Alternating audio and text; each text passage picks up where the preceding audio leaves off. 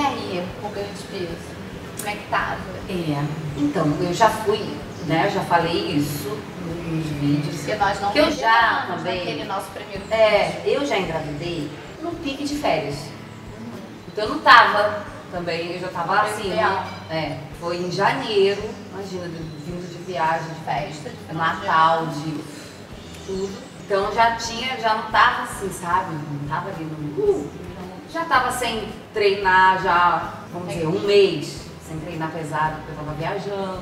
Então, ela já tava mais lentinha. É, mas Não, eu tava assim, mulheres os acabam três. engravidando hum, nesse perfil, né? O que a gente observa. Na verdade, eu tava assim, tipo, uns 2 quilos, 3, assim. Ideal, né? Ideal Mas pra assim, você. tipo, o normal que fica durante o ano.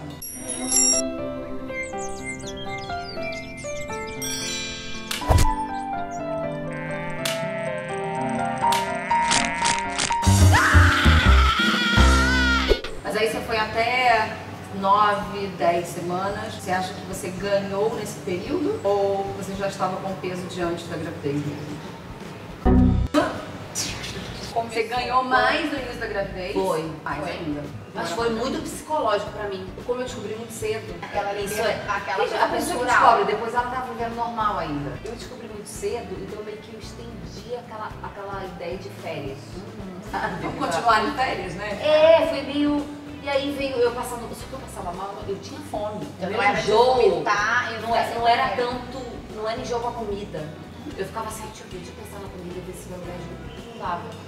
Tá, Tinha vontade de comer, mas passava mal depois, assim, mas eu comia. Então aí eu, eu tipo, meio soltei um pouco o freio no É porque, na verdade, com essa operação de paladar, assim, eu lembro bem, assim, eu tenho uma alimentação super. E Quando eu engravidei da Mel, né, que até nossa, eu tava numa alimentação muito pesada, inclusive, né, amiga? E mudou total, assim, meu paladar. Eu não conseguia comer um pão integral, eu não conseguia... Pesada, pesada pro positivo. Foi positivo, assim, É. bem radical. Ah, comia não sei quantas claras de ovo por dia. blá, blá, eu engravidei bem fitness, muito regrada de alimentação. Nossa, mu- eu não consegui voltar pra esse ritmo até hoje, bem honesta. Não consegui. Eu achei mais difícil ainda. A mamãe fitness. Foi muito difícil ser. mim, pra, assim, isso acho super interessante, assim, é, eu tava super no meu peso ideal e as pessoas têm uma tendência a achar que pessoas como eu, por exemplo, Bela Falcone também, né, eu até vou ver um vídeo dela. A ontem, Karina. Bach, a Karina Bach tava super fitness, ela tava numa É fase muito mais difícil Ela engordou 20 controlar, é muito mais difícil. É muito mais difícil. O É muito metabolismo ele está super acostumado com uma coisa que você vai alterar todo o estímulo de treino. Não dá para manter o mesmo estímulo de treino, você vai mu- mudar completamente o estímulo de alimentação, que era uma alimentação restritiva. Mas deixa eu falar, foi um choque pra mim. Claro, eu não era super fitness, mas assim, eu treinava pesado, treinava na areia, pesado. E deu um choque. E por isso que no início eu acho que engordei você muito. ficou muito chateada com a história da areia, que você, foi onde você conseguiu ter essa percepção. Eu parei, gente, eu, eu treinava assim, sério. Você passava mal. É, Mas é porque, é porque, gente, é muito gasto, né? Mudou Já a própria gestação. Você não tem, tem nem ânimo também. Mas eu acho que o meu corpo deu um choque. Eu lembro que eu tava com 3 meses de gravidez e já tinha ganhado 3 quilos. Aí as pessoas, ah, mas tá certo, é um quilo por mês. Só que eu falei, é um quilo por mês na proporção. Na proporção. Você não vai ganhar um Dividido, quilo por né? mês É, certinho. No início é pra você não ganhar nada. E essa questão da, da atividade também é soube. Porque quando você não sabe, você, por exemplo, a minha gravidez eu, eu soube depois de muito tempo, eu treinava, e quando eu tinha preguiça, eu falava, "Ai, nossa, mas eu tô cansada. Não, mas vambora. Mas é que também você não teve muito sintoma. Treino, Eu já- Ana. Mesmo que eu não tivesse descoberto no, no teste, eu ia descobrir na, nos sintomas na vida. É, pode eu ser, pode ser, mas você passou mal logo no inicinho? Foi, no- foi Tipo, no 12. Foi no início, porque eu, eu, eu curei com 9 semanas, Mas aí com 5 semanas, que descobriu com 12 dias. 12 dias. Um, É. belo, um belo intervalo aí também. Porque normalmente os maior começam... pobre da minha vida. come- Eu sentia assim, parece que eu tava flutuando. Não, eu tô muito pobre, muito, muito. Na festa, muito. Sério, sério. Parece que, parece que era uma despedida, assim. E, a- mas é- foi, o efeito foi diferente. No dia seguinte estava diferente. E eu, eu falei. O efeito do eu já. Eu me lembro quando você falou comigo a respeito do, do spa que você foi. E aí É. você falou pra mim, Eveline, tá acontecendo alguma coisa comigo? Porque eu fui para um spa que normalmente eu vou e emagreço 3 quilos. Fiquei sete dias, eu sempre perdi uns 3 quilos em sete dias. Eu achei assim, ah, vou perder um quilo, né? Aham. Eu perdi 300 gramas. Ela ficou Foi pesada. exatamente, eu falei, não. e eu malhei, fiz todas as atividades. Na verdade, na verdade você perdeu mais.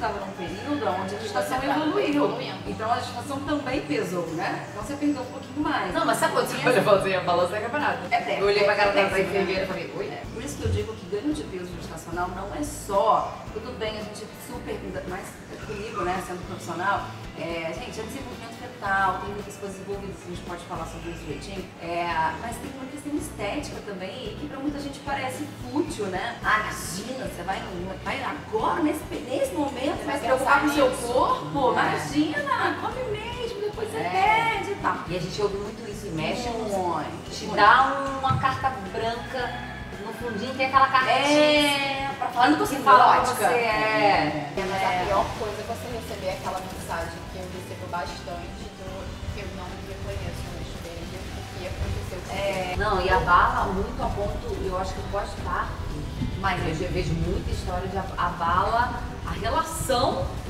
Conjugal. com o filho, Conjugal, conjugal, conjugal, a a pessoa não tá Porque depois que você aqui acaba a gravidez, acabou, não tô mais grávida.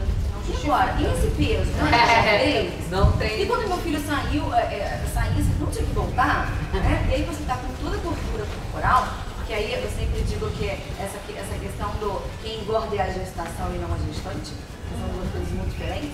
Então, gestação é litominiótico, placenta, bebê, útero, e gestante é gordura corporal. Depois que a gestação vai embora, em 15 dias, 20 dias, você volta pro seu peso pré-gestacional, né?